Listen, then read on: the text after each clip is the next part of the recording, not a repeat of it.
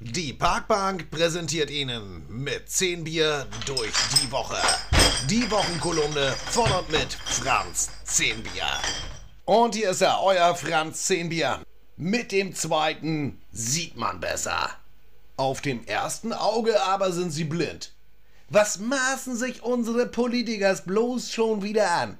Da fordern sie von der ägyptischen Regierung, nicht mit Gewalt gegen die Demonstranten vorzugehen, das aus den Mündern von Politikern, die im eigenen Land dafür sorgen, dass die Polizei der Bundesländer dafür trainiert, mit Gewalt gegen die Demonstranten vorzugehen.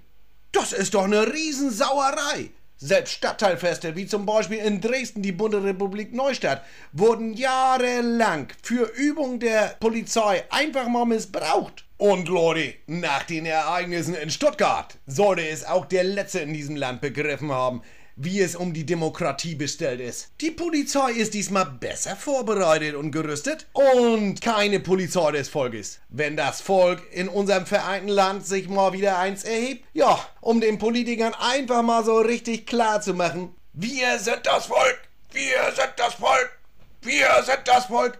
Ja, ich bin mir sicher, dann werden sie die Polizei mit aller Herde gegen die Protestierenden einsetzen.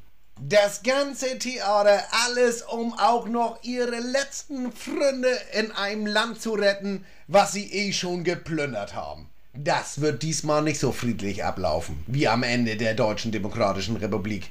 Der entschlossene Mappus wartet überall, um endlich wieder zuzuschlagen. Dem ägyptischen Präsident Mubarak mit seinen 82 Jahren kann man sicherlich Altersstarrsinn und Demenz als Erklärung für sein Handel zugrunde legen. Diese Argumente fallen allerdings bei unseren Politikern weg. Mit einem Wir sind das Volk verbleibe ich bis zur nächsten Woche. Euer Franz 10 Bier. Dieser Beitrag, das war mit 10 Bier durch die Woche. Präsentiert von der Parkbank. Parkbank. Kein Konto bei Hartz IV. Kommt zu uns mit ein paar Bier. Prost!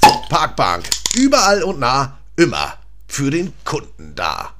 Eine Produktion in Zusammenarbeit mit der Nightpage Media. Mit freundlicher Unterstützung der Agentur für Pressekommunikation in Uchte.